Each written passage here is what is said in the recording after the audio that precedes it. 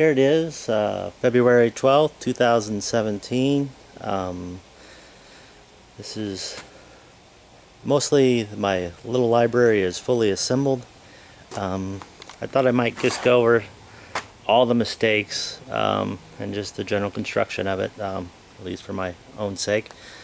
Um, the project really started because I had some leftover glass and some uh, knockdown furniture from Costco uh, where you could choose different fronts and I did not choose the glass fronts.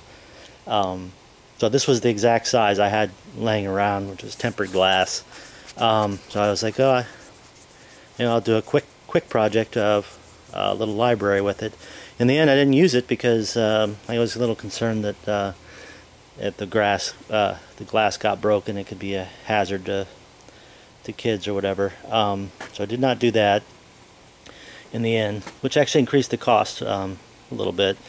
The bottom, I just had an old uh, stair riser. That's a pine stair riser that I, I, I actually got for some shelving. Um, so, uh, so I was like, oh, I'll use that as the base. So the sides are just, uh, I think, half-inch plywood, um, and uh, I did mortise this partially into the into the base a little bit. Um, did use brad nails a lot in this. Um, I realize I'm not very good at that, uh, hiding those nails. So I don't know how much big a fan I have of that.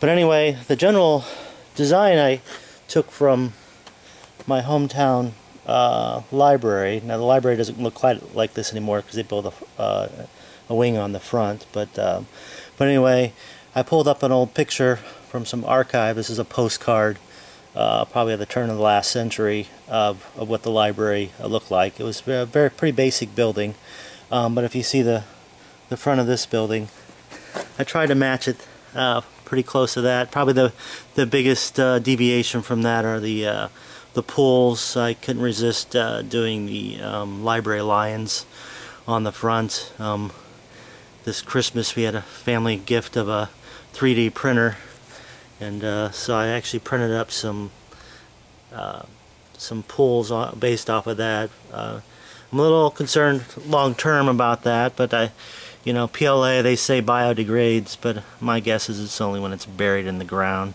Um, and I printed these solid, and then for extra support, there's actually a metal rod that runs up uh, through the uh, through the lion to keep it, uh, hopefully give it a little more rigidity um, I think the doors were the first thing I did because just because I had the glass, uh, and I, you know, I've recently not that recently, but I had a miter saw, so I ended up mitering the corners, and then uh, I kind of regretted that decision a little bit later.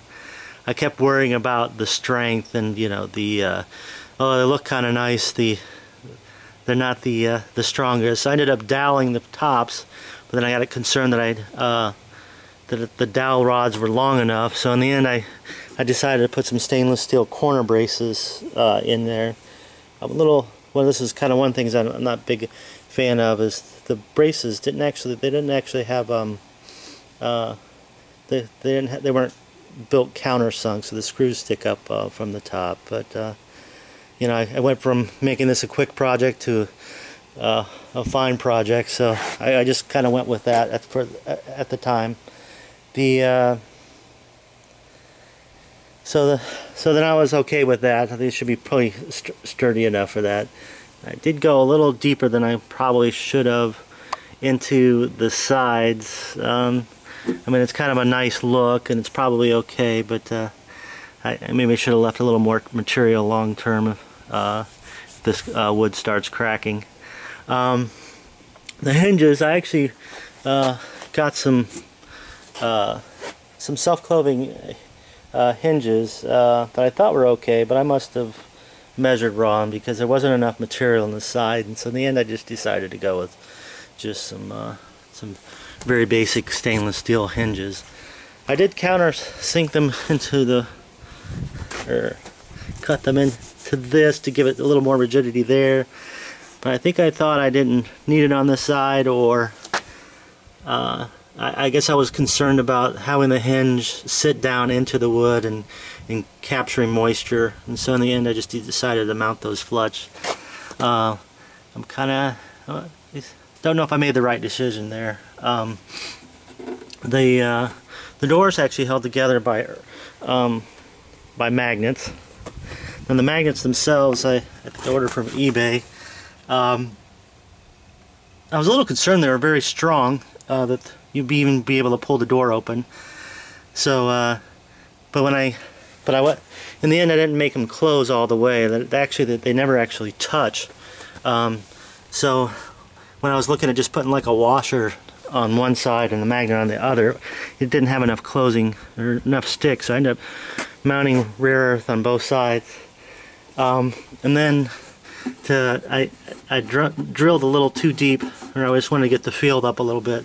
So in the end, I just stacked some washers. They stick nicely just with the with the magnet, but I actually put a little um, rapid fuse glue on there, just kind of hold them in place to keep them from being pulled up from curious children. Um, the the front, we had some mahogany left over from a, a, a homemade xylophone project. So I ended up just uh, using a leftover scrap there to make the the door and the window look. And then you know I just made three steps, which is actually three steps on the on the model. And uh, this is modeled pretty closely from the front end, like I said. Uh, I did end up putting uh, um, some caulk on the top edges of these elements just to kind of keep moisture from from like kind of sitting there long term. Uh, and while we're down here, we'll take a look at the internal structure. Uh, so I went kind of quick and dirty on the top joinery here. Uh, so it's not really, this top isn't quite encased there, it was just kind of floating. Uh, I think when I, when I, by the time I got done with this, I actually put a, quite a bit of time in it. I probably should have just done it proper. Um, I had some caulk. I was originally thinking that the caulk would just be some pine color, and I picked about the lightest wood shaded color I could get. And as you can see, it was I kind of used it in this area because I didn't really care too much. It's not really uh, that visible um, up here, so I so I tested it here. You can see my caulk works not very good. I guess I didn't take any time to clean it up either.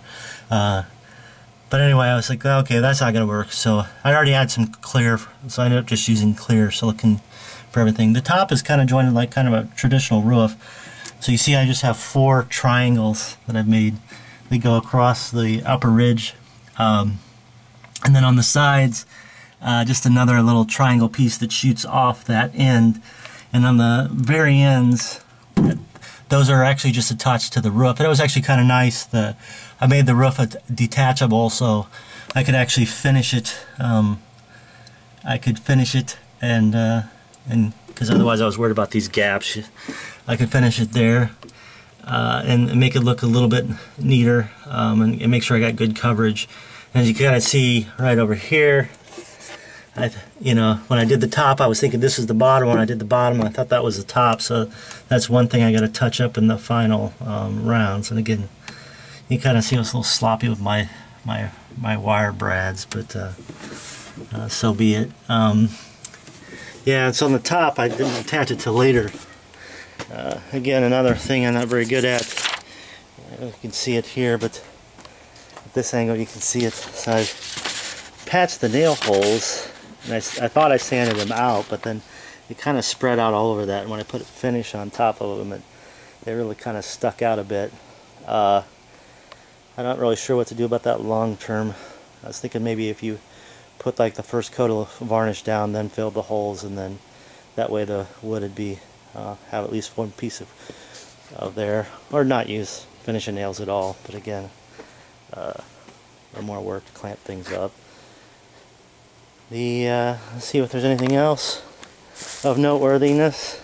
I guess one thing I noticed is I varnish this in the evenings uh, after work I try to put a fair amount of uh, paint on top, or uh, finish on top of it, but the lighting wasn't that great. It was always in the evenings, and uh, I was a little shocked when I got to this weekend and realized that uh, I had drips and stuff I didn't see in the, there, so probably a strong work light in there would be uh, much more preferable. I spent a fair amount of time thinking about how I was going to do the roof. Uh, actually, uh, I, I, was originally thinking I would. I was even playing with the idea of doing a penny roof, although it would be a fair amount of pennies. Um, but I guess that looking that up was beneficial because that's the first time I found the, DAP Rapid Fuse glue, which is actually very nice. It's kind of like a super glue that glues onto uh, multiple things. So all these elements on the front here I use to glue on there, so it sets up fairly fast. And uh, yeah, it's like super glue, but it'll work on wood. The and then I decided to just uh, use aluminum, uh, uh, some aluminum angle iron um, on there. And if, if you look here, the roof's not really a 45 degree pitch. This is just for simplification. So this is 45. This is 45. Um, but it does make these angles uh, greater than 45 here and here. I think it's maybe 130.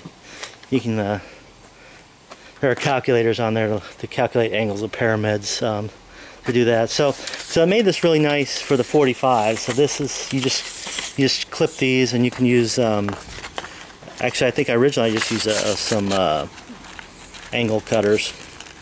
But uh, if you had some tin snips or something like that, it'd be fine.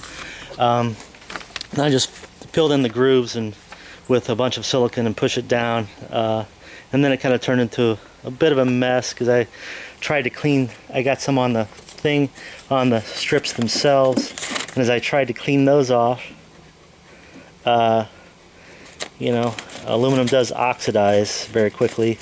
And as you clean it off, you get kind of like a, uh, a gray dust. And it actually went into the uh, silicon.